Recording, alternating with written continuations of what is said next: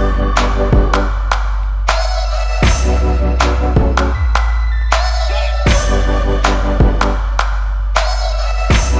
everybody, Brandcoin here for another episode of Brandcoin Mining.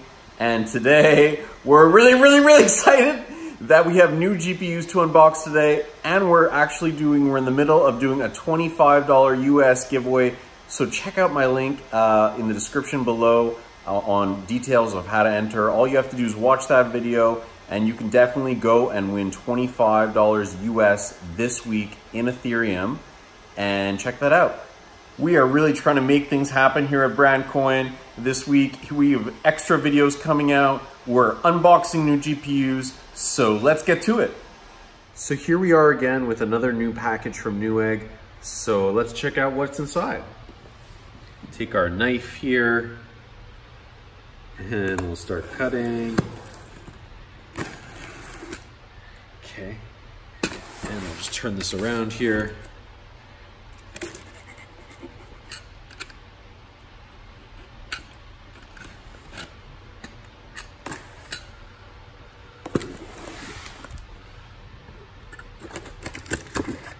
Okay, let's check this out.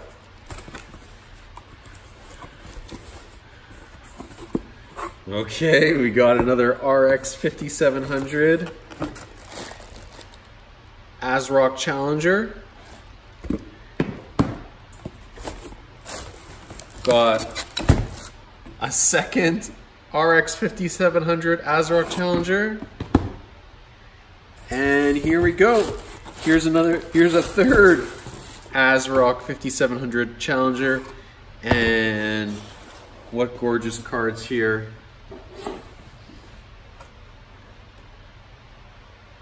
We're gonna have fun building this rig. So here we have all the five RX 5700s that I've uh, unboxed recently, uh, and I've stacked them all up to display them in a gorgeous artistic fashion. And uh, I just really can't wait to uh, get all these up and running. That will be coming very, very soon. I hope everyone is having the best day ever, and I hope this video can put a smile on your face too.